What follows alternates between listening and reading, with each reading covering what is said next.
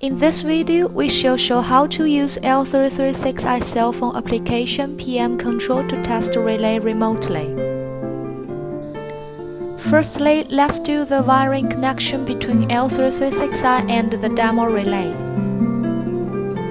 Here is the L336i's current output, voltage output, binary input 1 and 4 for trip and close.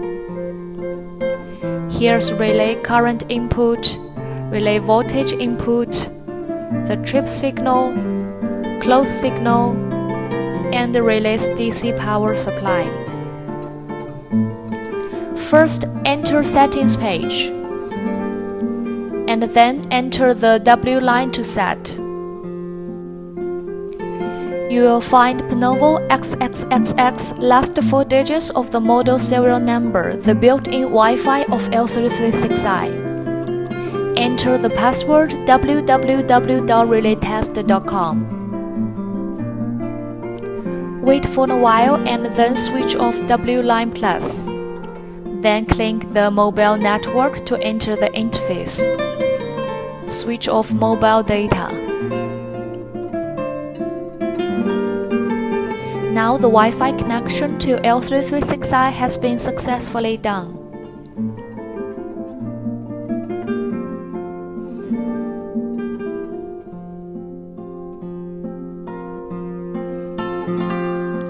There are two testing models in L336i cell phone application, Start Menu and Start State. Now we shall use Menu Test module to test the demo relay. Firstly, run PM Control application on your cell phone. Select the model L336i or L336IE.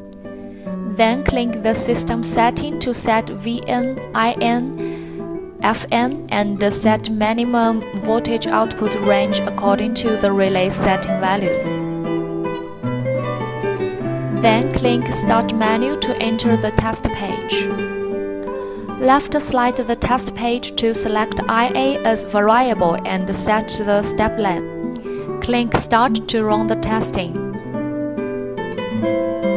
Revise the VA voltage into fault voltage 50 volts.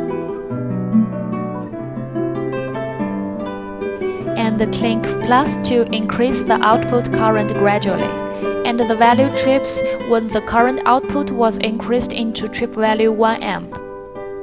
Then you can find the test result trip time and trip value in the bottom.